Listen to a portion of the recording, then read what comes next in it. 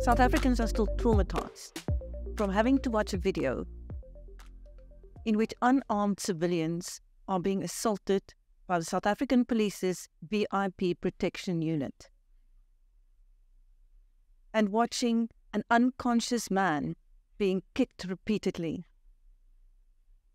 We now speak to Action Society's Ian Cameron, who is fighting for justice for that victim. Welcome, Ian. Thank you, Chris. It's good to join you again. May we please get an update from you? What happened that day? What has the victim told you? So, um, he his name is um, Lvaughn uh, Fisher, and uh, he has mandated us to try and and, and get justice uh, to to support him through this process, both criminally and and in, in terms of the civil processes.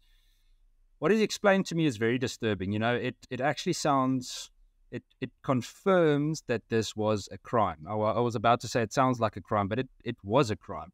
So he says they were driving back home, um, and uh, this was Sunday afternoon.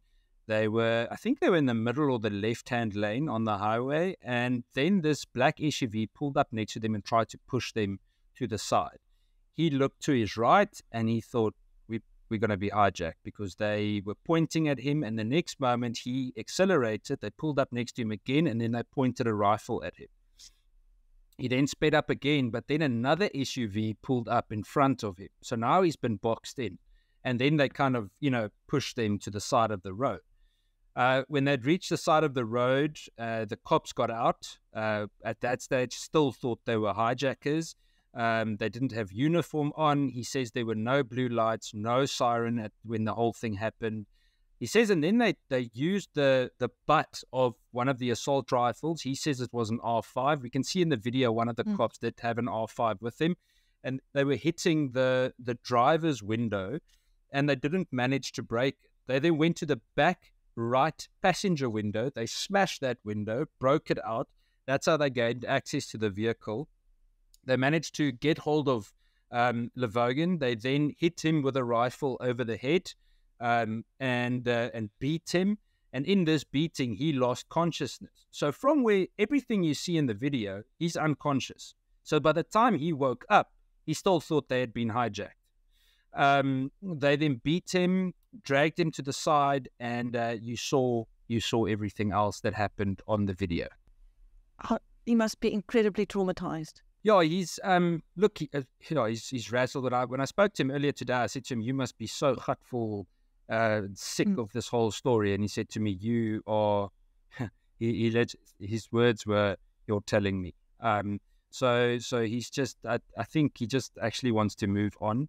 Um, you know, the the I think the thing with this is that he wasn't conscious the whole time, so it's almost like he kind of he kind of realized he, realizes how bad it could have maybe even got, you know, how much worse it could have been. Um, I think the, the, the, the worrying part for us, uh, and when we, when I chatted to him, is that people seem to think, uh, you know, that a lot of people only think about the physical injuries, but the the trauma for something like this is is severe. And remember that all of us need to carry on living. We need to drive. We need to go to work, etc. So it's not a question of if it's going to happen to you, it's when it's going to happen to you. And it's becoming so regular. Um, and again, the state has virtually done nothing to sort this out. How are you going to take this further? How are you going to try and get justice for him? So we've launched several steps. Um, I think, look, I'm very worried about the fact that I think the SANDF might try to to silence him. Um, and the reason is that this afternoon, uh, they gave an instruction that he is not allowed to speak, even in his private capacity, without any reference to the SANDF, uh, if there is not a general present uh, with the with an uh, an interview. Um, that to me is is is wrong. Uh, I think it's a massive contravention of, of freedom of speech, and, and we can debate that all day.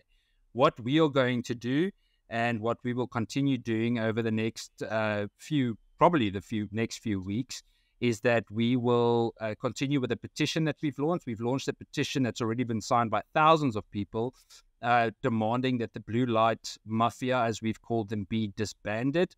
We actually want them to be banned. We said if we need some kind of a VIP protection unit, it should be rebuilt from the bottom up. Uh, it needs to be with impeccable integrity, with the relevant training, etc.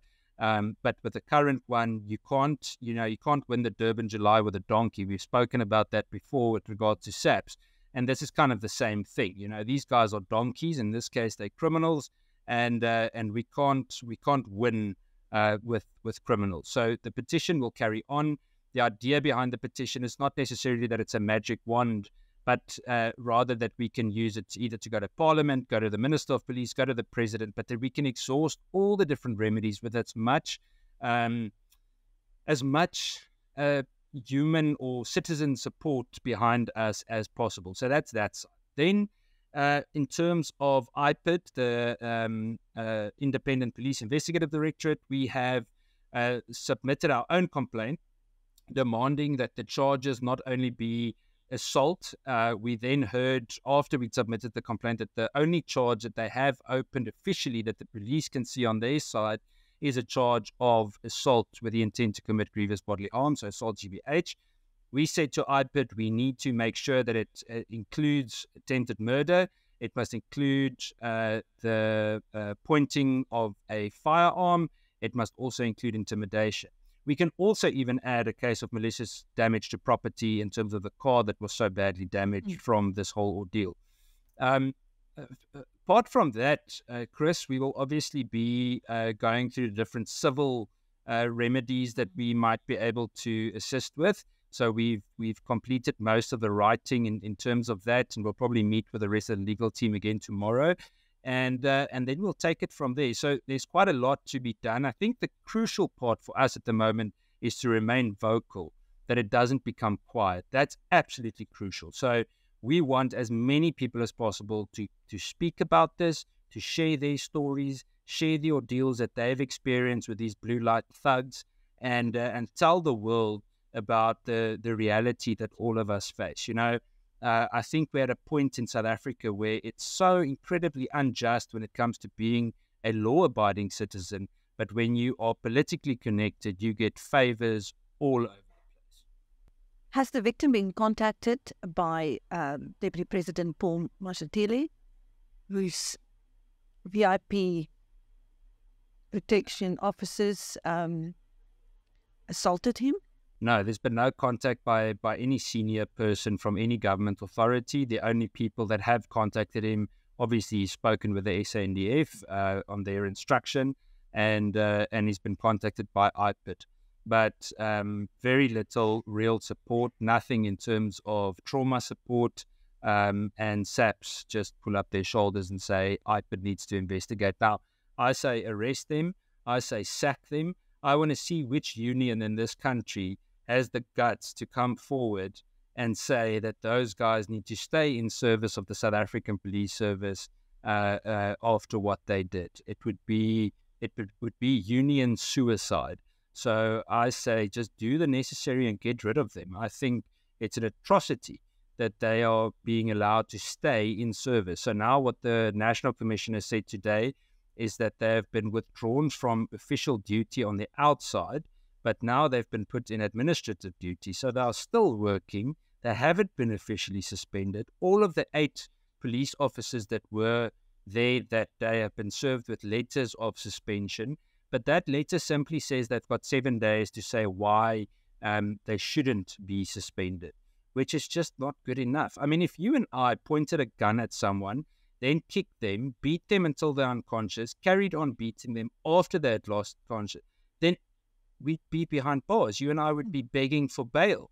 But if you're a cop in South Africa that wears a suit and reports to the deputy president, you can beat anyone and get away with it.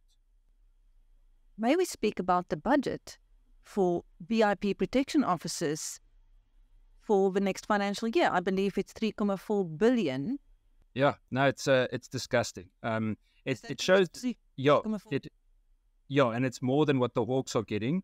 Um, it's it's more than several other very important portfolios in the police, and it actually confirms the disregard that the state has for the people in the country. You know, um, what we did today, just for the fun of it, we uh, we made wanted posters of, of, these cops to distribute, And the reason we did that is that's what they would have done to us.